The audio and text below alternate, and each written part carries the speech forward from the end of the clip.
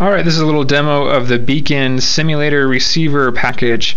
So again, here is my Beacon receiver, something that would be on your uh, robot platform. We have the Beacon radio, and then specifically we have the little LED there, which is our Beacon uh, LED indicator. Over here is our uh, Beacon simulator box. It has a little potentiometer, not a fancy little wheel though unfortunately, and an on-off switch. Over here on my computer I have just a serial output. It's the output from my beacon receiver um, giving me the serial um, indicator of what heading we should be on. So the value should be between 0 and 179. So I'm going to go over to my beacon receiver, turn it on, and right now I have it a little bit past 0 in terms of the, the output um, angle. And over here you can see the LED turn on about once every three seconds. And unlike a beacon receive from a real beacon um, I've programmed the LED behavior to be a little bit different. It turns on for three quarters of a second and then turns off.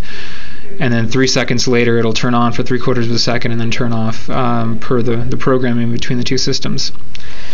So over here you can see now a, a big string of zeros indicating the uh, angle I'm going to turn the uh, simulated angle up a little bit and you can see now that we're at uh, 22 degrees, 30 degrees, and actually I should uh, rephrase that. We're getting a signal of 30, which is actually 60 degrees, and I'm going to turn my beacon simulator up even a little bit more and try to go through most of the full range.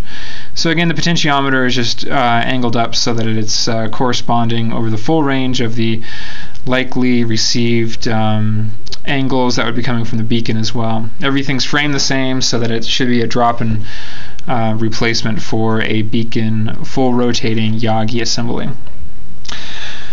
Scooting back over here you can see the uh, little LED blinking in the same pattern and then our beacon receiver box. There's a little antenna these are the same beacon receiver setups as uh, was used last year. I've simplified the design a lot, and this is just a breadboard wire mess, I'll be honest.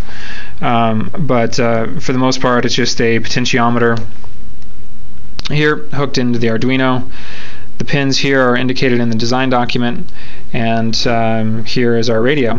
Uh, this little green breakout board is just to connect some of my wires together. Basically, I just have a, a ground and a uh, 5 volt power bus, and I could solder all those together just easily enough. And as I harden this up, uh, that's probably what I'll do.